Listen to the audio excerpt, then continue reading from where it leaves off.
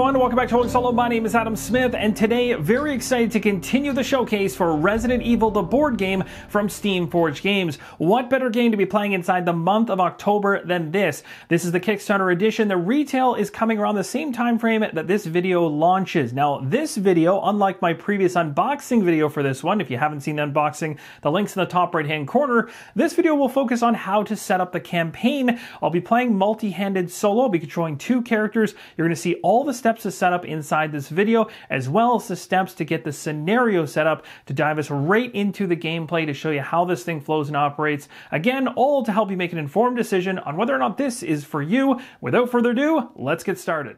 The first thing we need to do is choose our character. We can play true solo controlling just one character, but I'm going to choose to play multi-handed solo. So I'm going to control two characters. Instead of just picking them, I'm going to let fate decide. We're going to roll a die. This will be one, two, three, and four. Fives and sixes will be re-rolled. Let's see what we get off the hop here. We got a two. That's going to be Jill. And next up is going to be a five. We need to re-roll that or re-roll it. We got a two. So that is going to be where Jill's position was again. Let's continue rolling until we get a one, three, or a four. And there is a three. So it's going to be Jill and Rebecca. Now that I know which characters I'm controlling, I've grabbed the miniatures corresponding to each of the character cards. Both of the characters now receive a health track. We're placing that to the right of the character card. It is broken into five sections from fine to danger. The health tracker marker is going to be placed in the fine position. Now at this point, each of the characters is going to take their starting equipment. You'll know exactly what starting equipment they get based on the far left-hand side of each of the character cards. In order to find the items more easily for each of the characters, find the deck of cards that has an S on the back.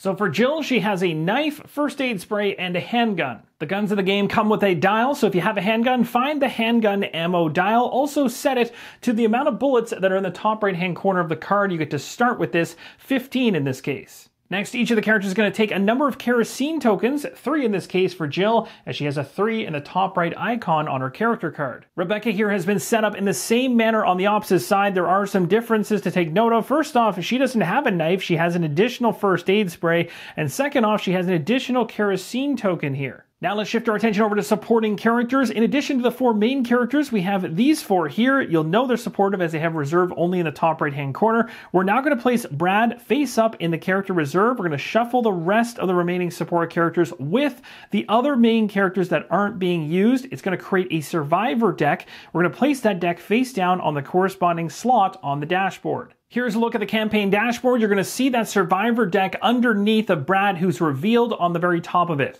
Now we're going to focus our attention on filling out the campaign dashboard. The first thing we have here is the danger dial. You're going to see it set to S. That is the starting position. Now this next step of setup is very important to do through a number of decks to ensure that certain cards are not part of the campaign at the very beginning. You're going to go through the narrative deck, encounter deck, item A and B decks, mission and tension decks to remove a number of cards that have icons similar to this in the bottom portion of the card. You're going to find square icons, circle, triangles, which are right side up and upside down, diamonds. If you see any of those icons whatsoever, an example of one would be right here, you're going to remove those cards from each of those decks.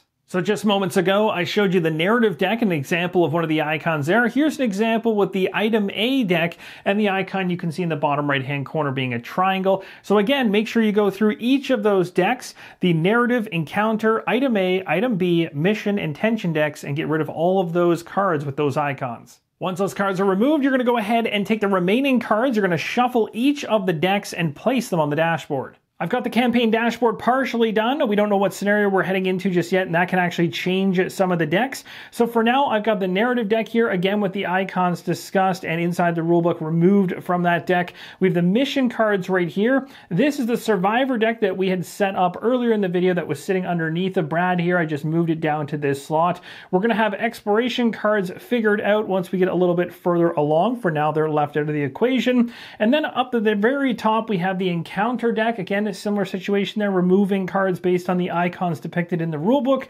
Here we have the tension deck. I've got every single card for the tension deck so far, but that is going to certainly change based on the scenario we're playing. Same thing for the item decks, although I have one item deck here. Item deck A is situated. I've removed all the icons from that deck in the bottom right hand corner, but there might be changes to that deck as well once we select a scenario. Now we're going to set up the C deck. The C deck is comprised of a number of cards with stars in the bottom right hand corner.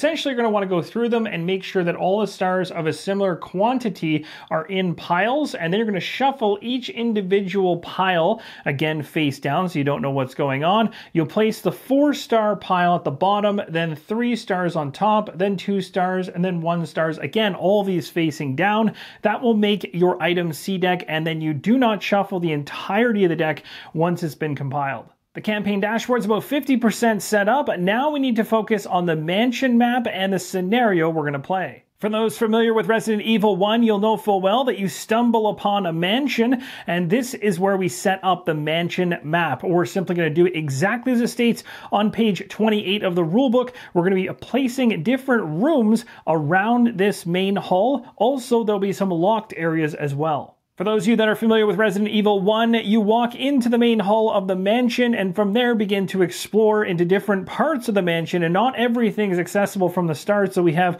Crypts B locked here and Crypts A locked here, but we have other areas of the mansion to explore. If there's ever new scenario cards to be added, which there is in the deck off screen, they'll be added in connection to the numbers. You'll see the ones that I've already slotted in, match numbers and arrows. Now, as you complete scenarios in the game, it might tell you to add another scenario card to this layout, and in most cases, you'll be connecting to one that you've just completed, and you'll be doing so by making sure the numbers line up. Also, if that card comes in with a lock side, it begins locked, and locked scenarios usually require something to be found, like a key, for instance, in order for them to be unlocked. Each of those scenario cards will have the requirements of what's necessary to unlock them on the card. And once you find those, then you're able to unlock that scenario and you'll want to continue journeying through the mansion.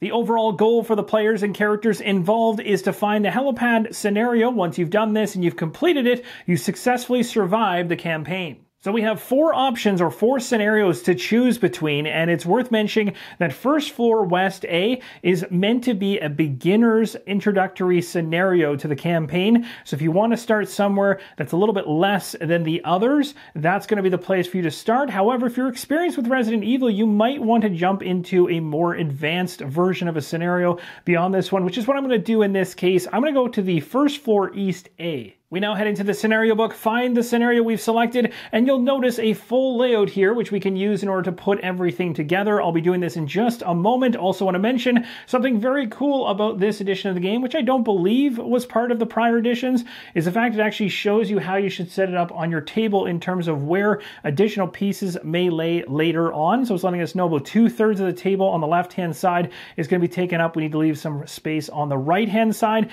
It also lets you know exactly how many tiles that you'll be getting together and ready to go. And then, of course, a number of them will be out from the very beginning, which will populate this green area. All scenarios have an introduction, objectives, and special rules all laid out. We're going to go over all of these once the whole scenario has been set up. For now, we're going to skip to the card deck section. As I mentioned prior, we went through the campaign dashboard about 50 to 60% of the way, but there are changes or potentially additions that come into play based on scenario specific rules. So you want to make sure that you read those and make the tweaks as necessary. We're going to do that right now. Now we're told for the item A deck to grab three cards. One of those cards is going to have a triangle and a number one inside, which is a kerosene container. And then two of the triangle with a number two inside, those are shotgun shells. All three of these are going to be shuffled into the item A deck. Now to set up the item B deck, we need to find the broken shotgun, stun gun, and old key. I've got them here. We're shuffling these together and we'll place them in slot B in the top right.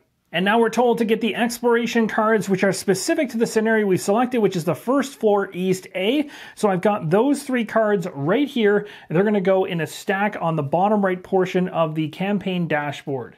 Now, as you likely notice, the giant tension deck in the top right hand corner is gone. That's because our next step is to set that up. There is no specific tension deck changes for this scenario. There will be scenario rules at times where you have to change or add things in the tension deck. Currently, it's going to be the basic tension deck, so we're going to go through it as we did with other decks, remove any of the icons in the bottom right hand corner from that deck, shuffle the entire thing, and place it in the slot up top left. The tension deck has been shuffled, placed in the top left hand corner of the campaign main dashboard. And just to show you guys the icon in that tension deck, as you've seen prior with other decks, removed all those cards and nothing specific to this scenario telling us to place any back in the tension deck. You're now seeing a bird's eye view of the first floor East A scenario. Let's go ahead and populate the map. The scenario is all filled in. We have Jill Valentine down here in the bottom left, and we have Rebecca Chambers up here. We also have a number of doors. The ones that are really key is there's an archway door right here, which is wide open. These other doors are all closed up at the moment.